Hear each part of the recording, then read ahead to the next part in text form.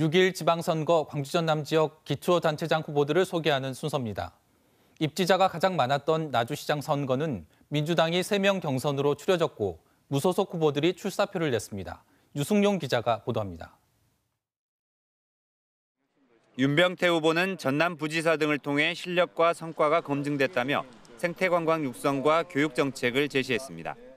나주 평야에서 그 영산강 아, 또 혁신도시 한국에너지 공대로 이어지는 나주의 자원을 뭐 키워내도록 그렇게 하겠습니다.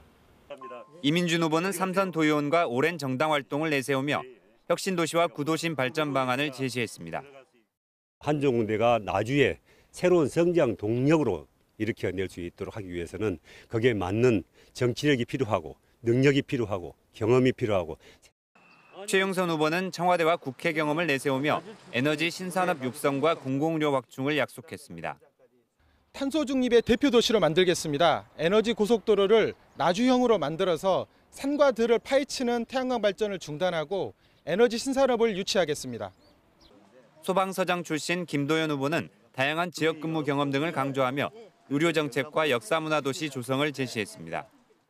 역사 문화 도시를 꼭 이루도록 하겠습니다. 그래야만이 영산포 또는 나주 구도심이 살게 되고 우리 마한의 왕도를 다시 찾게 될 것입니다. 양승진 후보는 오랜 공직 경험을 토대로 공무원 승진 시험제와 주재 공무원제 등을 제시했습니다.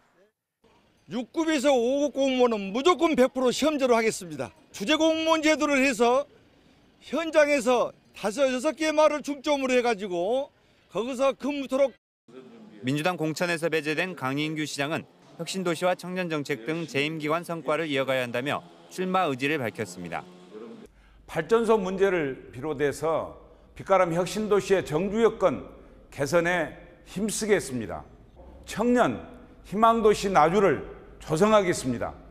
예비 후보 가운데 김덕수 전 국무총리 정무기획비서관과 김병주 전 문화체육관광국장도 민주당 전남도당 공관위의 공천 배제에 반발해 재심을 청구했습니다.